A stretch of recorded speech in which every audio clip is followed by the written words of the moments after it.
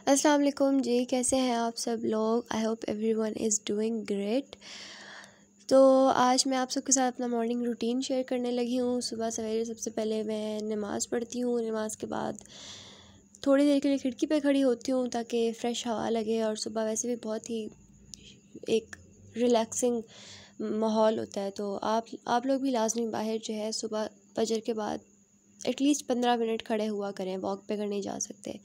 Then उसके बाद नाश्ता बनाया, ये ये है सुबह सुबह का टाइम अराउंड आई थिंक नाश्ता मैंने बनाया था फाइव फोर्टी फाइव हो रहे थे शायद। तो नाश्ता बनाया, भाई को भी देना था, ख़ुद भी खाया, फिर चाय पी, चाय छान के मैं आके बैठ गई थी सोफ़े पे और फिर मैं चाय पीना शुरू हो गई।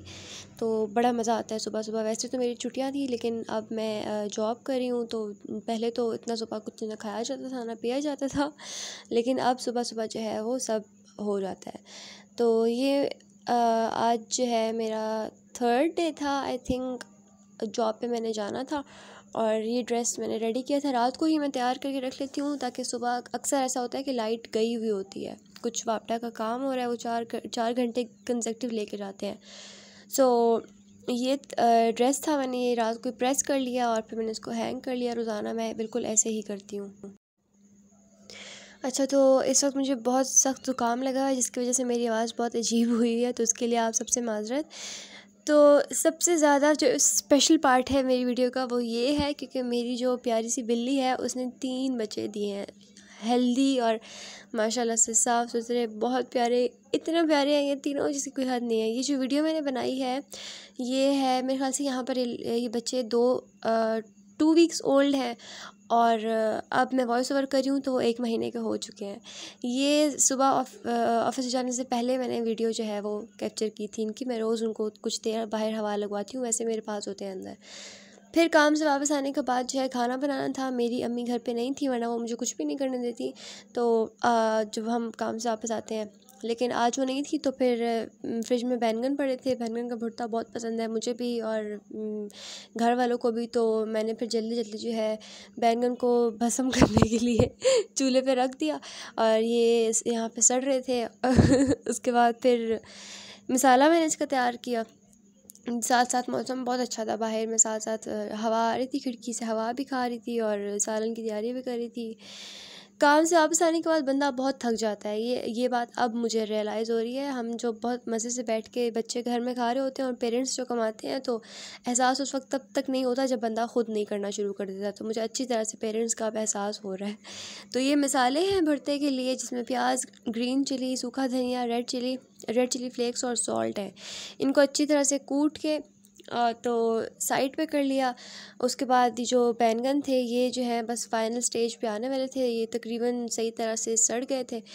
और फिर पानी डाल के बोल में उसके अंदर मैंने उसको डाल दिया था। थोड़ा सा ठंडा हो जाए वो ताकि।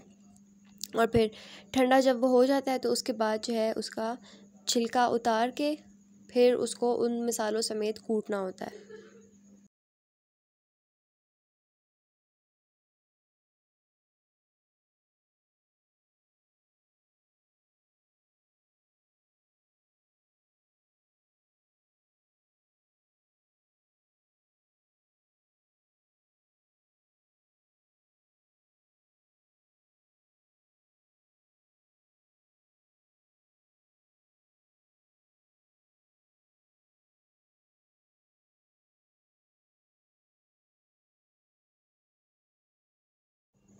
मैं जो बैंगन का भरता बनाती हूँ, वो मैंने अपनी अम्मी से सीखा है और मेरे ख्याल से बहुत मज़े की रेसिपी होती है। इसकी मेन इंग्रेडिएंट होते ही टमाटर है। आप जितने ज़्यादा टमाटर डालोगे, उतना मज़े का बनेगा। लेकिन अब ये भी नहीं कि बहुत ही ज़्यादा टमाटर डाल दें, लेकिन जितना नॉर्मल क्वान्टिटी में हम हर साल में डालते हैं, उससे ज़्यादा। तो मैंने टमाटर काट लिए थे, मेरे पास दो बैंगन थे, लेकिन मैंने टमाटर एक बहुत बड़े साइज़ का लिया था, एक नॉर्मल साइज़ का लिया था। उसको काट के ऑयल डाला फ्राई पैन में, अब इसको मैं फ्राई करने के लिए छोड़ दूँगी। जब अच्छी तरह ये फ्राई हो जाते हैं, पूरे घर में जो है खुशबू आना शुरू हो जाती है टमाटरों की, जो कि मुझे पर्सनली बहुत पसंद है, जब फिर टमाटर अकेले फ्राई हो रहे होते हैं। तो फिर जो है मैं उसके बाद इसके ऊपर ढक्कन रख दूँगी और इसको मैं कुक होने दूँगी, जब तक ये जो है थोड़े से इनका कलर जो है थोड़ा ज़्यादा डार्क हो जाएगा, डार्क रेड। और छिलका सेपरेट होने लगेगा। छिलका निकालेंगे नहीं, बस पता चल जाए कि छिलका सेपरेट होने लगा है। तो फिर उसके बाद इसके अंदर जो है बाकी के हम मिसाले शामिल कर देंगे। अभी जो है मैं आपको दिखाती हूँ, ये देखें कि ये किस तरह से फ्राई हो रहा है। तो साथ साथ जो है फिर मैंने जल्दी जल्दी इसका छिलका उतार लिया क्योंकि बैंगन जो है वो ठंडे हो चुके थे। तो इसका मैंने उतारा छिलका छिलका भी इस तरह से उतार, उतारते हैं। थोड़ा सा ये जो है मैसी काम है, लेकिन बनता बहुत ज़बरदस्त है। हाथ वगैरह धुले हुए थे मेरे। और ये मैं दिखा रही आपको, मेरी बहन ने मेरे हाथ पे जो है वो पेन से पता नहीं क्या क्या लिखती रहती है। हर वक्त उसका जब दिल करता है, छोटी बहन। टमाटर जो है वो हो गए थे फ्राई, बस फाइनल स्टेज पे आने लगे थे। और अगर आपके पास फ्रीज़ड नहीं है, फ्रीज़ड होते हैं, वो तो क्रश ऑलरेडी हुए होते हैं, ज़ाहिर है हमको क्रश करके डालते हैं, लेकिन जो फ्रिज में जो रखे होते हैं, वो फिर आप चमचे से जो है, वो ख़ुद भी जब नरम होने लगते हैं तो आप उसको क्रश कर सकते हैं, क्योंकि क्रश करके ही डालने होते हैं। मेरे पास फ्रीज़ हुए हुए थे ही नहीं इस वक्त तो मुझे फिर यही डालने पड़े। तो ये है जी फाइनल रिज़ल्ट टमाटरों का। इस तरह से जब ये कुक हो जाएँगे ऑयल सेपरेट हो गया, अच्छी तरह खुशबू आ रही है और नरम नरम हो गया, छिलका भी अलहदा होने लगा है। तो ये अब मैं इसके अंदर डालूँगी मसाला, जो ये इसके अंदर वो सारे मसाले जो मैंने आपको बताए थे और बैंगन जो मैं, जिनका मैंने छिलका उतारा था, उनको भी मैंने इकट्ठा कूट के और फिर अब मैंने फ्राई पैन में डाल दिया। इसको आप अच्छी तरह से हिलाएँ, बहुत अच्छी तरह से कि यकजान हो जाए। देन इसके अंदर एक छोटा प्याज डालना होता है और फिर इसको दो से तीन मिनट के लिए कुक करें और फिर आपका जो है भरता रेडी आपका भरता नहीं, बैंगन का भरता रेडी हो जाता है फिर।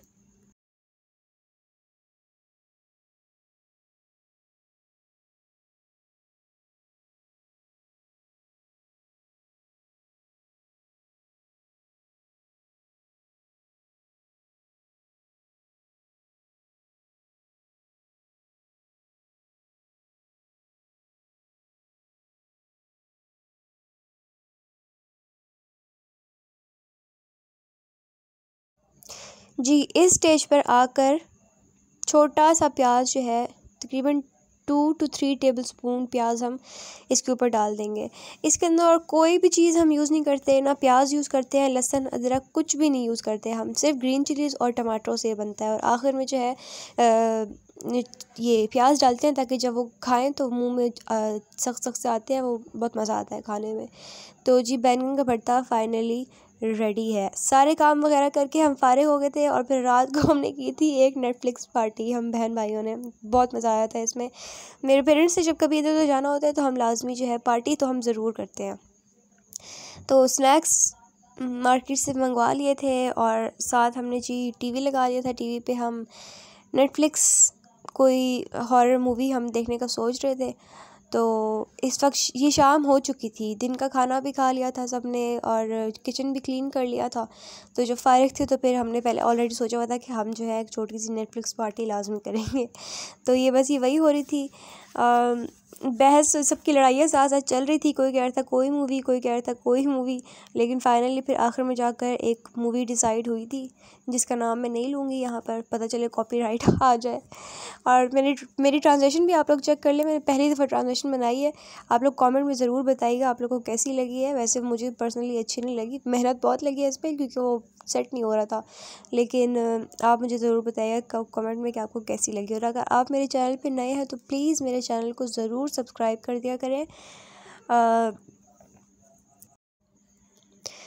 तो बस यही हो रहा था, पूरा दिन मेरा ऐसे ही गुज़रा। सुबह सवेरे मैं उठ जाती हूँ, नाश्ता और काम पे जाना, वो सब कुछ फिर वापस खाना, ये सब। आज के दिन की रूटीन मैंने इसीलिए शेयर की थी क्योंकि वैसे नॉर्मल दिनों में जब मैं ऑफ़िस चली जाती हूँ, वापस जब मैं आती हूँ तो मैं फिर कुछ भी नहीं करती। मेरी अम्मी बेसिकली मुझे कुछ भी नहीं करने देती हैं। वो कहती हैं, बस तुम लोग रेस्ट करो, मैं कर लूँगी। तो लेकिन मेरी कोशिश पूरी होती है कि मैं साथ साथ उनके साथ छोटे मोटे काम करवाती रहूँ। और आज वो थी नहीं तो मेरे मेरे पास पूरा दिन था काम शाम करने का तो मैंने कहा मैं पूरे दिन की रूटीन भी शूट कर लेती हूँ, उससे बेहतर दिन और कौन सा हो सकता है। तो अगर आप लोग को पसंद आई है तो आप लोग ज़रूर कमेंट में बताइएगा। अल्लाह हाफिज़।